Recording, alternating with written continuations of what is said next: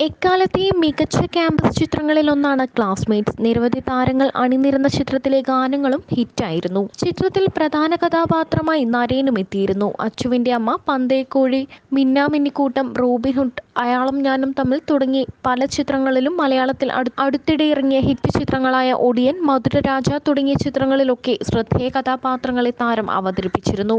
സഹനടനായാണ് താരം അഭിനയം തുടങ്ങിയത്. അച്ചുവിന്റെ അമ്മ എന്ന ചിത്രത്തിലൂടെ നായകനായി വൈകാതെ മലയാളത്തിലും തമിഴിലും ശ്രദ്ധേയനായി. രണ്ടായിരത്തി ഏഴിലാണ് നരേൻ വിവാഹിതനായത്. മലയാളം മിനി സ്ക്രീൻ അവതാരകയായ മഞ്ജു ഹരിദാസിനെയാണ് നരേൻ വിവാഹം ചെയ്തത്.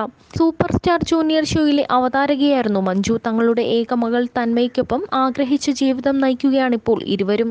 ഇപ്പോൾ മഞ്ജുവിന്റെ പിറന്നാൾ ദിനത്തിൽ ആശംസകൾ അറിയിച്ചെത്തിയിരിക്കുകയാണ് പ്രിയതാരം നരേൻ. ജീവിതത്തിലെ ഉയർച്ച താഴ്ചകളിൽ തനിക്കൊപ്പം നിൽക്കുന്നതിന് മഞ്ജുവിനോട് നന്ദി പറഞ്ഞായിരുന്നു നരേന്റെ കുറിപ്പ്. അത്ര മനോഹരമല്ലാത്ത അനുഭവത്തിലൂടെ വരെ കടന്നു പോകേണ്ടി വന്നിട്ടുണ്ട്. മികച്ച സമയം ഇനി വരാനിരിക്കുന്നതേയുള്ളൂ എന്ന പ്രതീക്ഷയോടെ പരസ്പരം സ്നേഹിച്ച് നമുക്ക് മുന്നേറാം. Happy birthday my love Naren കുറിച്ചു. ജയസൂര്യ ഇന്ദ്രജിത്ത് സമൃത സുനിൽ സരിത ജയസൂര്യ മുന്ന തുടങ്ങിയവരെല്ലാം മഞ്ജുവിന് പിറന്നാൾ ആശംസ അറിയിച്ച് എത്തിയിട്ടുണ്ട്.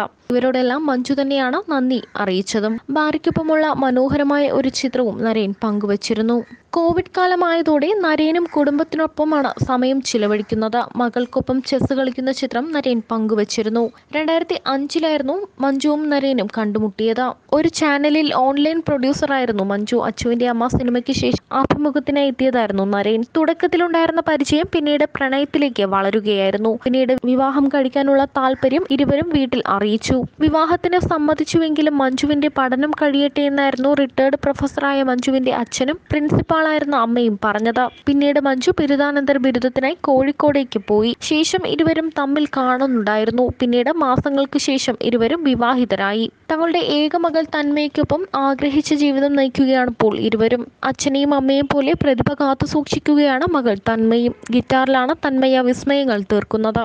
താരപുത്രി ഗിറ്റാർ വായിക്കുന്ന വീഡിയോ നേരത്തെ വൈറലായിരുന്നു.